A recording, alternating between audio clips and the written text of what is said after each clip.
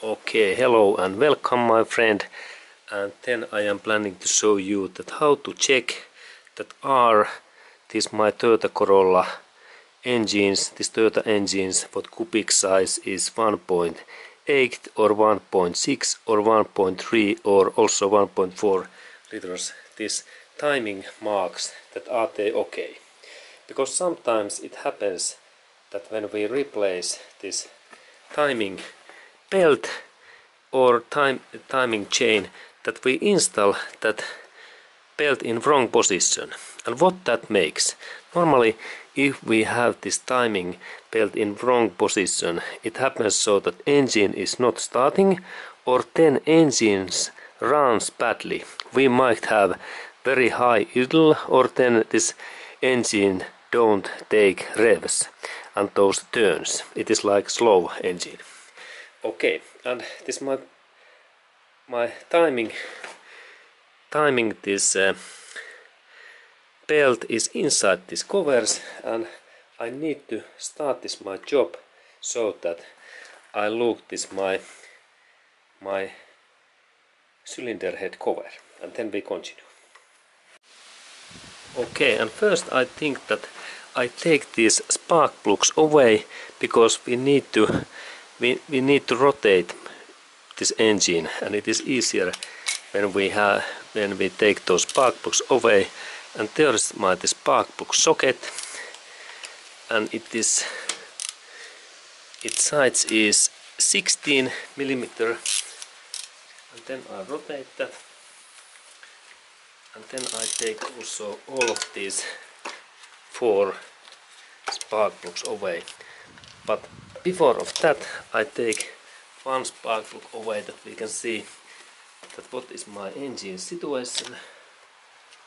Okay there is this first spark plug and there is this spark plug type is Denso K20 Air and U. Okay and then I take those also those one two three four four spark plugs also away okay and now when I have take all of these four spark plugs away my next step is to open these cylinder head cover bolts. That one that one this one this one this one and also on that side one one and there is also there is also actually there is not so many. And I start my job so that I choose 10 millimeter 1 0 millimeter socket. And then I have the standard bar that I can rotate and this bolt looks looks very easy. And let's look that when I take a little bit better view we can see that how this my rotation happens. This is so easy to rotate. Look only one finger and this is opening direction. And then this bolt opens and then I open that bolt.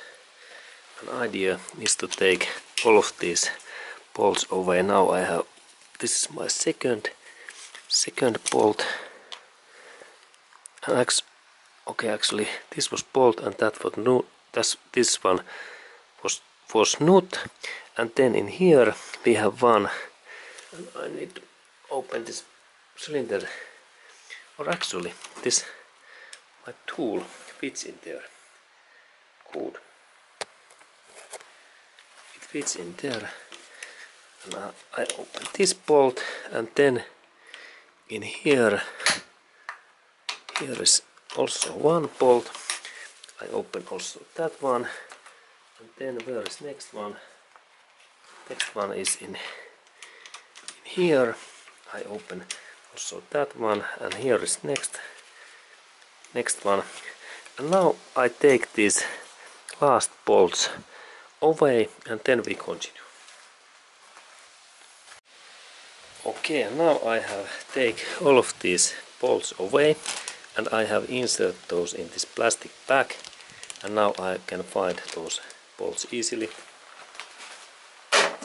And then then my next task is that I need to take all extra cables away.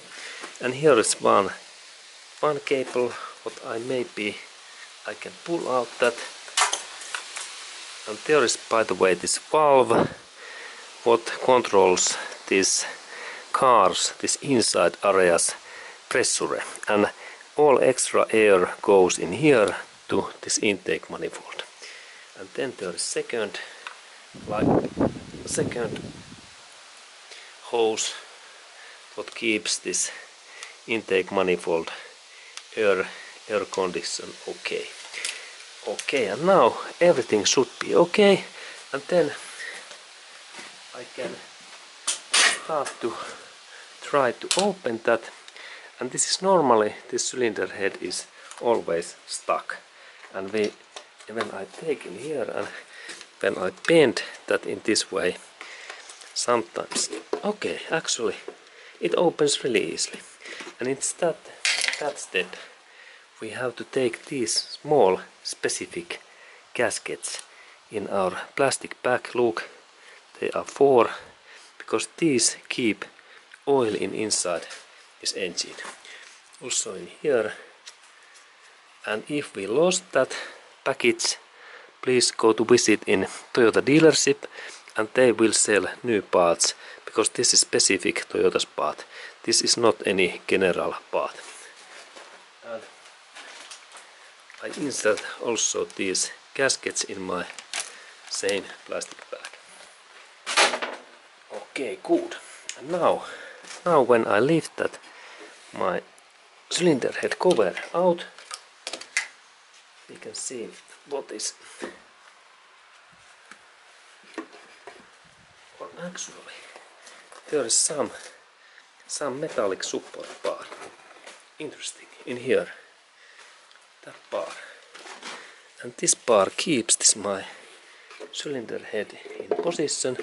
And I need to take then this metallic support bar in there away. And we continue soon okay and now I am taking my socket and it is there and it is 14 1 4 millimeter is the size.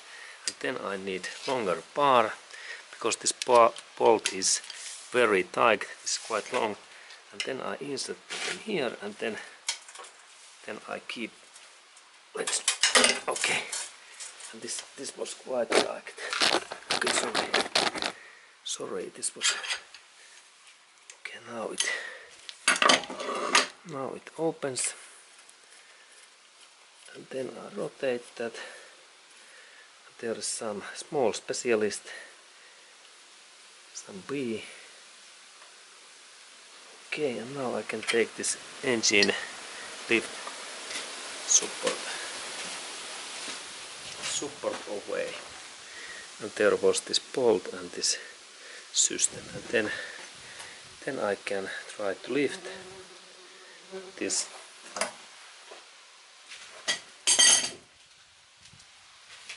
Can try to lift this cylinder head cover. And let's look. So now it should lift easily. Okay. And there is this my cylinder head cover. Looks good. And there are my camshafts they looks also good. There is by the way even instructions that what is this? Togues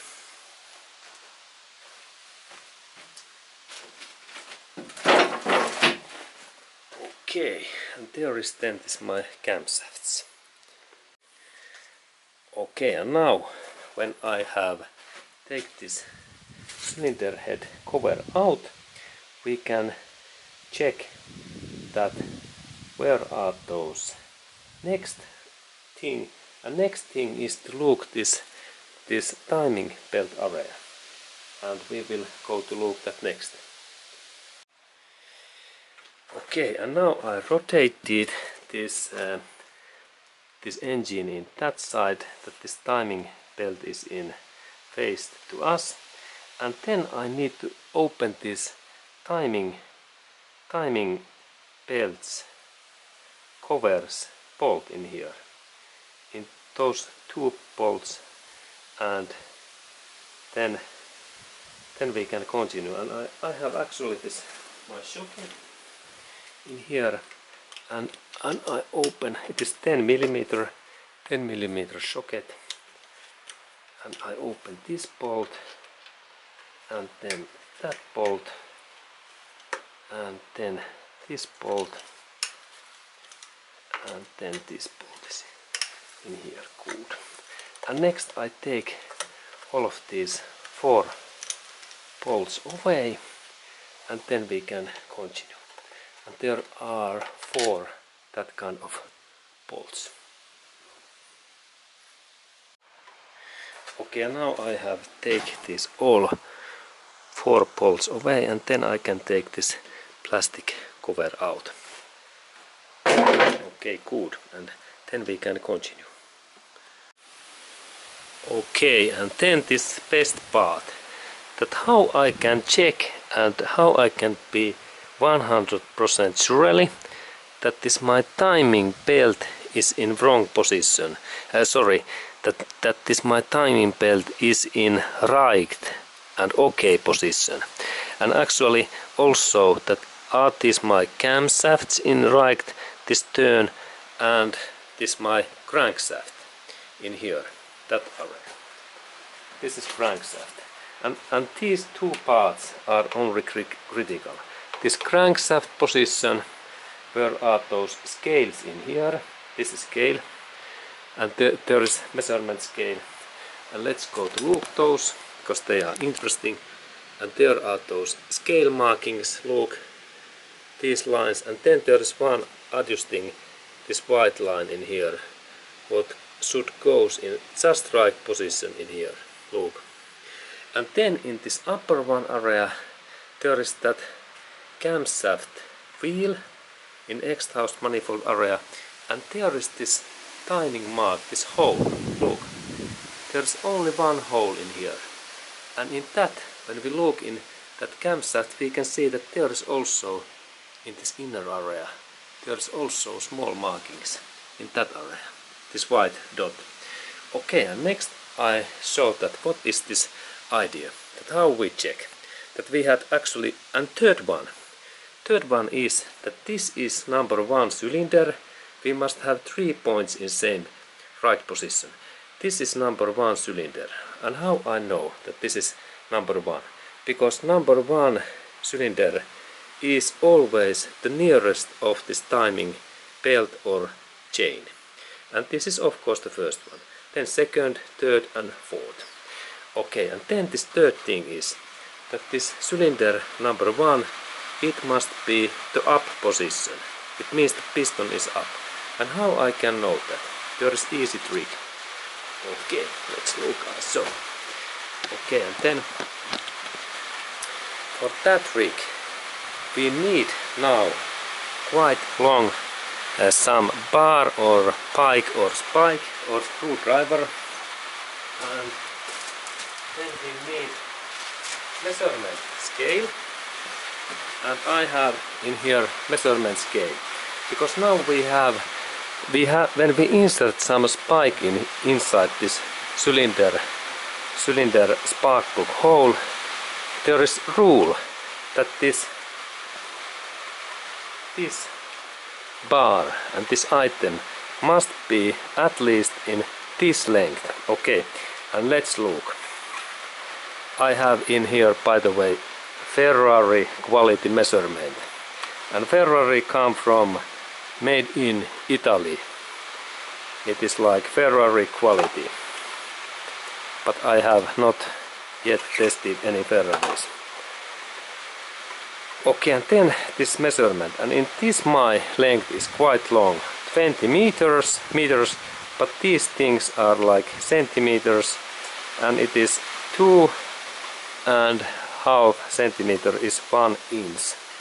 Okay and then I measure this my tool and it seems that this must be at least 20 centimeters long this my measurement tool and it means in inches 20 divided 3.5 do you have calculator? Please check but I check in here. This is like 0. Point, this is first inch 5 is like 2 inch and 3 is like 4 and in 20 centimeters it is 8 inches. Okay at plus this tool must be at least 20 20 centimeters or 8 inches. 8 more than 8 inches. Okay and then the trick. I clean that my tool very carefully and then I insert that in indirectly into a cylinder head tube. And notice that now there is no any spark plug and that's this tool drops so down.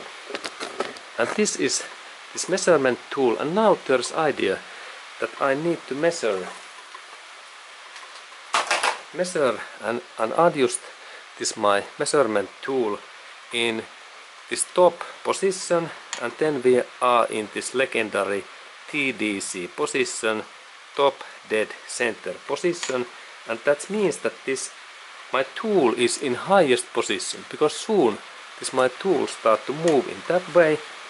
And then check also that this that part must be spike very thin that it goes directly in this cylinder head and uh, against piston against piston. And this must be moved and then then we need the socket what size is now 17 millimeter 1 7 and I insert that tool now in this crankshaft bolt what is in here in that way. And then then I have to rotate that my that my belt in that direction. Remember this is the turning point. Like in a clockwise in when we look in this direction. And it happens so that it is like normal that I fasten and tighten bolts. And now when all cylinder cylinders spark plugs are away this is easy to rotate. Please take spark plugs away because otherwise this is really heavy and now when I start to rotate we can see that this timing belt moves. Good. And now when I rotate also this another belt moves. And then I can look this my tool. And hey now my tool disappear. It is away but no worry. When I rotate more this my timing belt and only to one direction. Okay now now my tool is coming up. Look this is interesting now it's and now it's going down. Okay no worry. I rotate again and now it's there. And now my idea is to get this my tool in the highest point. And then when it just start to go down I have to stop. Okay let's look. Now now it's coming up. And now it goes and let's look I carefully I use carefully my this my tool in here really carefully now that way very small amounts. And then in same time I check this my my tools head what is in here. And now I have I have task to get this in the highest position.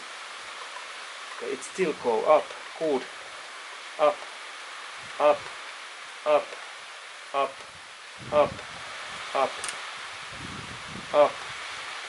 Now it seems to stop. And now it's start to go down. And now I can do a little bit back. I, I changed my tool and a little bit back. But now it's go down and then I again do that again that behind topmost. Okay now it's I believe that it is in toppest position. Excellent. Good. And this is the rule number one, that we have to get this piston one in uppermost position. Then second thing is to check that in here, when we have those markings, that this camshaft marking, what is in there, this marking, this this hole in here that this hole is in same line as that line in here and actually just now they are really when we look through this hole I can see this white thing in there, look. Now it's really, really they are in same line. That hole, look, this hole in here and then this upper line in here. Okay, and then we can add in here some white markings. There is small, thin dent in here to look. And those must be in same position. We can look also in here. Okay, excellent. Now this my my cylinder is in up and then that one is up. This is like this is second check. This was first check, second check. Two checks are check are okay. And then final check is this my my cam shaft position?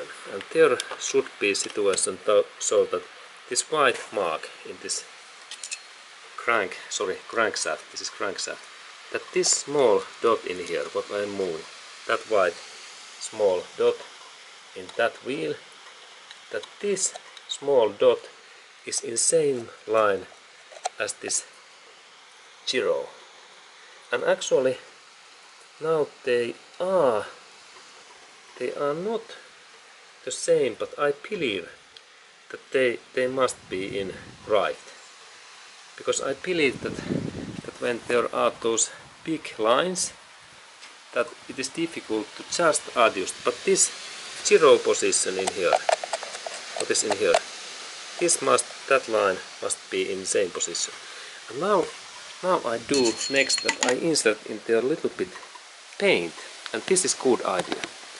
That I I I insert I have in here this paint and this is normal white Toyota's car color and you can go to purchase that like in Toyota dealership and please say that I have white car and then scratch paint.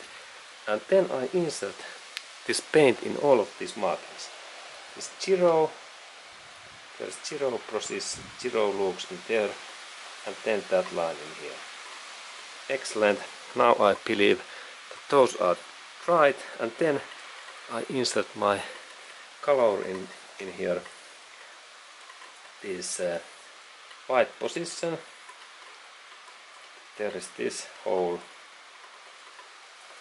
okay, good, then we can go to look in that upper area that that I I can mark also this better.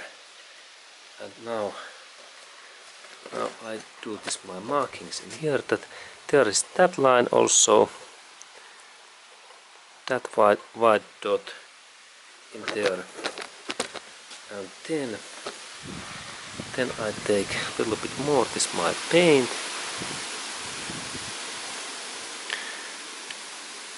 and then I insert this my paint firstly in there and then then we look in look in that whole area. Where's this hole?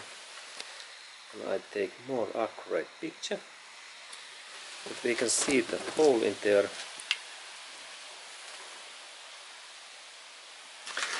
and there is this hole in here look and I insert my white markings in also in that hole. Okay and now when we check those my lines they are they are in same position look good and there's my white color and then I have this my final step that I do my markings also in this my measurement tool because this is interesting. And let's go to look that closer. Okay now I am doing my markings also in here in this my tool what is in there. And I do my markings in just in this line what is where it takes contact. A little bit. I need a little bit more paint. A little bit more paint. And just now I have maybe